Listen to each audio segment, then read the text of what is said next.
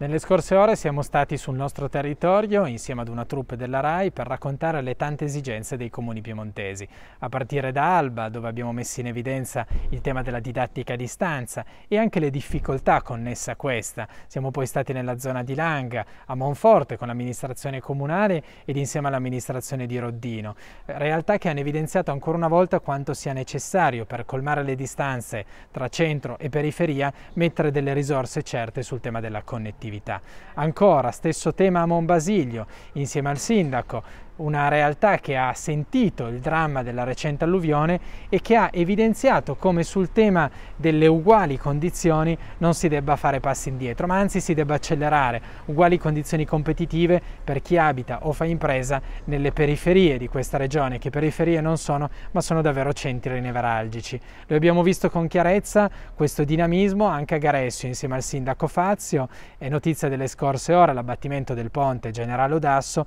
a testimoniare la voglia voglia di una comunità che messa a terra oggi vuole ripartire, ma che chiede aiuti allo Stato, aiuti alla Regione per far sì che questa battaglia sia anche una battaglia di democrazia ed una battaglia di civiltà. Quindi ringraziamo la RAI per l'attenzione e siamo certi che aver acceso i riflettori sui nostri comuni sia davvero un esercizio importante per chi comunque continua a rimanere qui nonostante tutto.